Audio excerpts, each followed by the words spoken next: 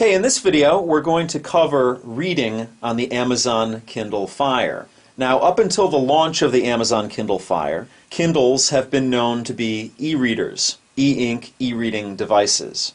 Now, there are a lot of studies that show that actually reading on an e-ink device is probably better than reading on an LCD tablet such as the Amazon Kindle Fire or the Apple iPad 2 or any other Android tablet out there. Reason being is because of eye strain, and especially if you're going to read at night, looking at an illuminated backlit tablet, such as an LCD tablet, is going to keep you up as opposed to reading an e ink device, which is not backlit, and you'll be more apt to actually fall asleep. But if you don't care about the eye strain and you don't care about falling asleep while you're reading, and you want an upgraded tablet experience at a reasonable price, the Kindle Fire might be the tablet for you. Now, if you're interested in this device, I have a lot of videos up, and you can check the link at the end of this video to see all the other facets of this device. But like I said, we're just going to cover reading on this device right now. Now you have several options. The interface shows you here. The first thing is newsstand, which is newspapers and magazines, so you can read those on this device. You can read books on this device, and you can look at comic books as well. So we're going to cover books. We're going to go into books here. And the only book I have on this device is the Oxford American Dictionary. But it'll do for this demonstration. Now, as you see, when you pull up a book, it pulls up the cover as your first page here, and you can just swipe to the side. So if you want, just keep swiping, and that's how you turn the page. There is no up or down. This book is formatted for this screen, and you can actually increase or decrease the text size, but it'll always be formatted for the screen. So there's no up and down, it's all side to side. If you want to go back a page, you just swipe back. Very intuitive. Now, being that this is a dictionary, you can't actually look up words in it. You just kind of have to leaf through it and find the word that you're looking for. So, in practice, a dictionary on a Kindle Fire tablet is not really an ideal experience because if you want to look up a word, you can either do it on the internet or a Kindle actually has a very interesting feature on it. You can actually highlight a word and it will define it for you. So, Obviously, I know what the word pronounced means. It says it right here, but I'm going to highlight it by long pressing it. And you see on there, there's sort of a, uh, a magnified view of it there. I don't know if you can actually see it on the uh, camera there, but uh, let me do that for you right here. Let's back out of that and let's do that again. I'm going to long press on pronounced. And as you can see, it gives me a magnified view of the word there. So when I let go, it will actually define the word for me, which is very useful. So it gives you a definition here. If you want the full definition, click on this. So there you go. It brings up the full definition of the word in the New Oxford American Dictionary. So that's how you would look up words on this device. But if you don't have the word on the device itself, if you just thought of a word, you thought of solstice, There'd be no way to input it on this device to look it up. You'd have to find it somewhere and highlight it. So let me highlight another word here, um, nucleus here. I'm going to do the same thing, long press on it and let go. It gives me the definition. Let's check what the search function does here. I'm going to hit search. And it searches within that book. It searches within this dictionary and it gives me all the entries where nucleus is in this book, which would come in handy if you're actually reading a regular book because you could jump to certain areas of that book. All right, let's try um, animate here. Let's highlight that and look up the term on Wikipedia. So it brings up Wikipedia here, and there you go. So let's go back to the book here and let's try the last function, which is the Google search. Let's try movement here and hit the Google search. So there we go.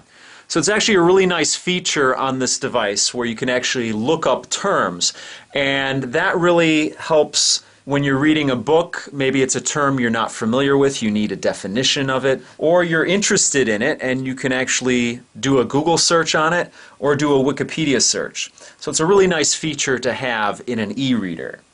Now, as I said, the interface is you swipe to turn the page, but there are other options on this device. So if you want to bring up a menu, you just tap on the screen and it brings up this menu here and you have a location here. Now these aren't page numbers because like I said the actual text is formatted for this screen so it doesn't really coincide with any actual book out there. So you basically just have location areas within this book and if you want to you have this slide bar here where you can move throughout the book wherever you want and if you notice there the location number changes as I swipe this bar. So it's going to allow you to jump anywhere within that book. Also on the menu down here you have a couple of function buttons. You have your characteristic home button that will always bring you back to your home screen. You have a back button that will bring you back within the program or to the previous program that you were using. Now here you have an A A button here. It looks like a font button. What I'm going to do is I'm going to click on that and it brings up some options here. You have a font style, which is what we're in right now, and you can actually change the size of the font. Right now it's in the third one up. I could put it on the lowest one, and as you see it makes the font smaller, or you could put it on the highest one and it makes it very large. And then you have all these points in between. Also, you can change the line spacing on this to suit your reading habits. Right now it's in the middle. If you want, you could make it spaced more. If you want, you can make it spaced less. We'll put it back on the middle. Also, you can control your margins. You can make them bigger. Right now it's on the smallest, but you can make the margins bigger. And as you see, the text goes more into the center of the display. And then you have your color mode down here. Right now, the text is black on white. If you want, if you're reading at night and you don't want such a glare from the device, you can read white on black. And if you want something a little more soft, you can read brown on beige. Now also you can control the typeface here. So if you don't like this typeface, you can change it to whatever font you have installed here. And it looks like there's, let's see, four, five, six, seven, there's eight different fonts to choose from. Now, next to that font button here, you have your menu button. That is your characteristic Android menu button, and it allows you to dive deeper into some of the functions here, uh, such as the cover, table of contents, beginning, location, sync to furthest page, and whatnot. And then down here, the last button is a characteristic Android button, which is a search button, and if you click on that, it allows you to search anywhere within the book. And you just type in whatever you want up here with the on-screen keyboard down here. Now, also one thing to note when you're reading a book on this device, you can't pinch to zoom.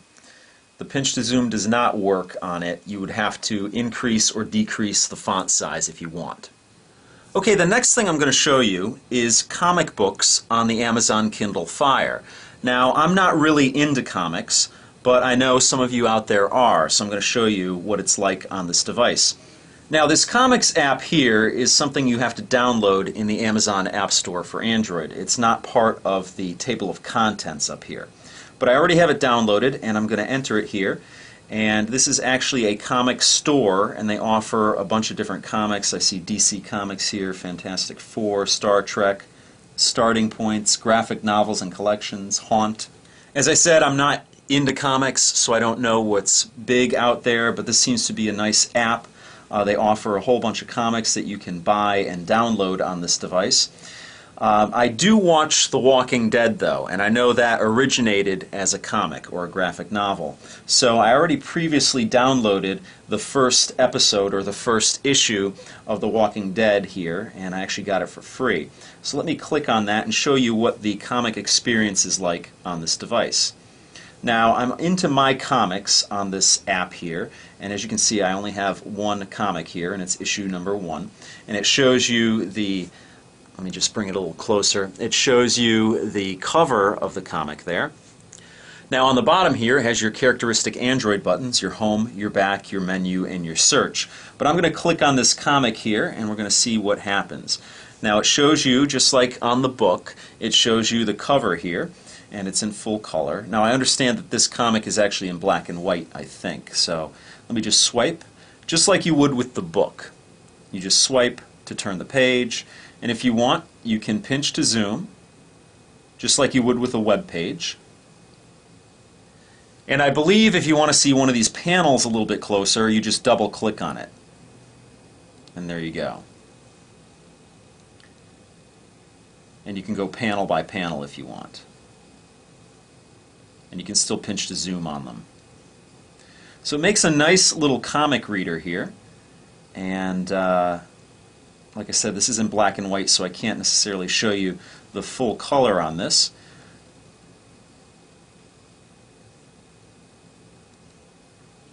But let's bring up the controls here. I'm going to hit on the menu button down here. And it allows you to close, browse the pages, and go to settings. Let's just see what kind of settings we have here.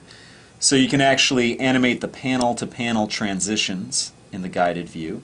And the letterboxing allows you to use the bars to hide content outside of the current panel. And show page on enter, show full page after transitioning to a new page. And show page on exit, show full page before transitioning to a new page. So there's some interesting preferences here to give you transitions, it appears, uh, when you're actually reading your comic. So that is reading on the Amazon Kindle Fire tablet, whether it's books or comic books. Again, like I said, you can get newspapers and magazines on the device as well. All in all, a great little tablet and definitely worth the 199 price tag. So that pretty much does it for this video. I have a lot of videos on the Amazon Kindle Fire, and you can check them out by clicking the link at the end of this video. So I'll see you guys next time.